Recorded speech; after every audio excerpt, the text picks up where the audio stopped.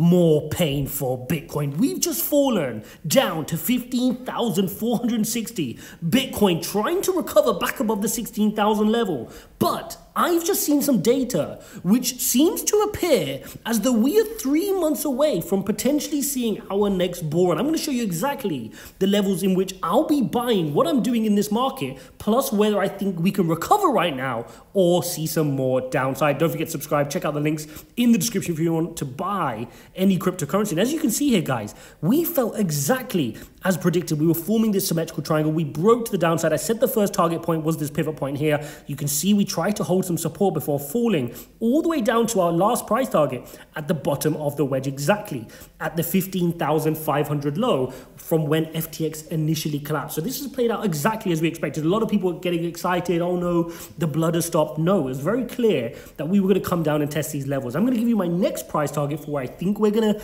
get to. I've already been buying the dip. I had limit orders set at those lows, so they triggered. So I've managed to get some more. You're seeing we're now progressing back up here. A strong four hourly candle bringing us back above 16,000. But more importantly, what is going on in the markets? Why is this happening? Well, we know there's a bunch of FTX contagion, right? We know that Bitcoin is still worried about what is going on with companies such as Genesis, who is trying to raise a billion dollars, but they're struggling. Nobody wants to help them raise this $1 billion that they're looking for, and they're going to be close to filing bankruptcy. What knock on effect could this have to GBTC? What knock on effect can it have to exchanges like Gemini, who rely on the Genesis platform for their earn program? A lot of contagion still to be unpacked by this market, and the pain is not yet gone away.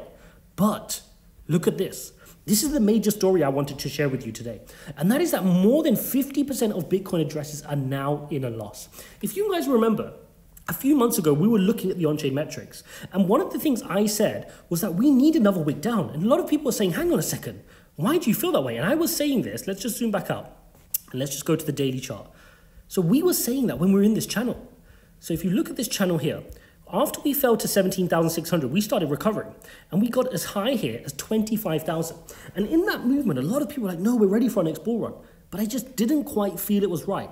One, a percentage drawdown from all-time highs wasn't quite as low as previous bear markets, right? Even to this point, we've not been as far as 85% down. An 85% retracement from the 69,000 high brings you to about 10,000. So we've not had a huge retracement down. But the other metric we were looking at is the percentage of wallets the percentage of people out there who are in loss. And again, that percentage was never as low as previous cycles, which got me thinking, how could this be a bottom? There's still more juice left to squeeze out. There's not full capitulation, right? Like we've seen in previous markets. Well, one of those things have now triggered. If you look at this now, you can see that just over 51%, that's 24.6 million addresses, are below the purchase price, okay? So that means somebody has bought Bitcoin, over 51% of people who own Bitcoin right now the price of Bitcoin currently today is lower than when they bought. So they're in a loss. Their portfolio is red. Okay, now to put this into perspective, we've got to look at what did the previous cycle show us? Well, in 2019, in January, 55% of those wallets were in loss. So we're just 4% away from that. Okay, we then bottomed at 3,200 before then working our way back up to the highs. Well, we didn't go straight to the highs, we went from 3,000 up to 14,000, remember, got rejected, came down again. Then we had our big bull run. So the question is, could we be now forming that bottom? If you look at the 2015 bear market, that percentage was 62%. Now, I can buy in that that percentage can reduce. It doesn't have to be 62%. It doesn't even have to be 55. But 51 now sounds healthy, right? You, you don't expect it to be 45. Yes, there's a maturity in the market and less people need to be in a loss. But this is some serious loss now. This is some serious pain in the market, which makes you think we're much, much closer to the bottom than we are not, right? And that's what should give you confidence to say, hang on, now the time now is the time when there's peak fear. Now the time is when there's extreme fear in the markets. Do I need to be buying? And I, for one, of course, do your own research. I'm buying. I bought the dip at 15,500 again, had my limit order set. I told you that yesterday, guys, and the day before, I believe. So that executed. I've got more staggered in at lower price points. Remember, I'm looking for that 14,000 level. I made that very clear with you guys that the 14,000 level is what I'm looking out for. There's no point me shouting out price points such as 8,000, 6,000. I'm looking at 14,000 as the next level because on the previous cycle, which we're just speaking about here, we ran up to 20,000. We came all the way down to three. We then ran up to 14 on this peak here before we got rejected. So that's where I'm getting that 14,000 level from as the next key level here for Bitcoin. So I'll have some limit orders closer to that level for me to accumulate some more. Doesn't necessarily mean we'll head there, but I've got that's the pragmatic level for me to have ready to buy the dip if I want to get some more as well. Now look at this, guys. Coming back to the wallet addresses, look at this historically. So we've just fallen below that black line. The black line shows you when you're above 50%, so more than 50% are in losses right now. If you look at when that's happened before, happened in this here, that was the pandemic. And then if you go back to the 2019 bull cycle, which we just went through. So this clearly is an indicator that we are getting to that peak fear level. We are getting to that point where people are opening up their portfolio and they're seeing red. They're going, I hate crypto. Crypto is a scam. It's the worst. If you've got conviction, if you believe in this is where things are going, you've got to look at the price point and say, hang on a second.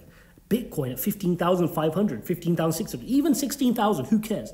This is insane. These are super, super cheap prices, which we haven't seen for a very, very long time on crypto. So that's where I stand right now, guys. Yes, it's a difficult time. Yes, there's still fears around contagion, but this is the time when either you're buying or you're not. And you've got to ask yourself, if you're not buying now, if you're not buying your car when it's discounted by, you know, 75%, when are you going to buy it? Do you not believe in that car? Do you not like that car? Do you not have conviction? Or do you need the masses to give you conviction? Do you need the candles to be green? Do you have green candle disease? You need the candles to be green for you to buy. I personally know I, I buy when blood is on the streets. I've trained myself to do that. I, you know, I'm not superhuman. I used to always want that conviction from the markets too. When things are when you buy something and it's green the next day, it feels so good. But when you can learn to detach yourself from the charts and go, what is the technology? What is the price point? Do I believe that's a fair value? No.